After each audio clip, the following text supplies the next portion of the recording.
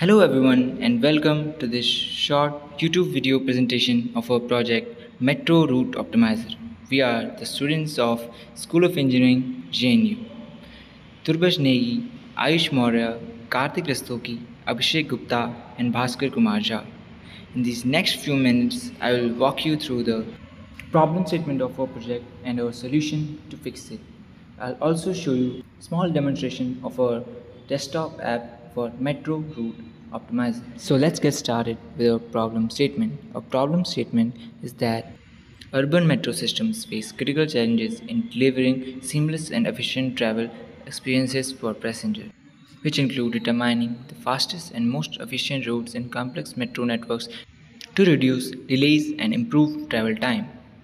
Our solution to fix this is to use Dijkstra's algorithm to calculate the shortest path in terms of time to reach our destination. This is the demo of our desktop app built using Qt Creator.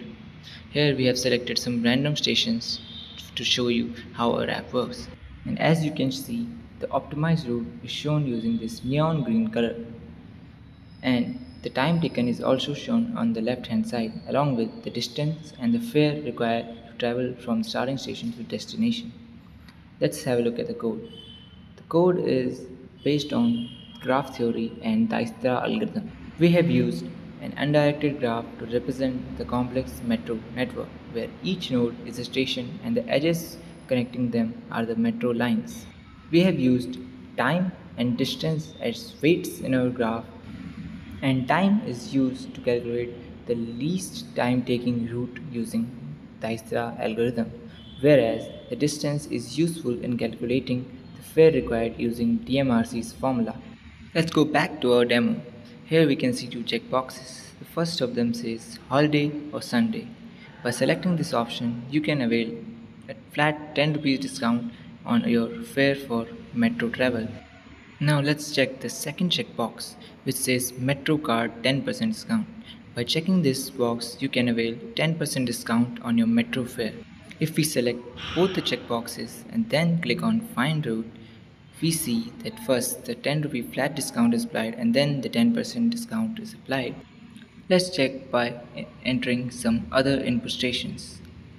The map here is made using drawline in Qt Creator, which is similar to turtle in Python. Similarly, the reverse route arrow button is also made using Qt drawline. The small boxes here are made using HTML and CSS in Qt.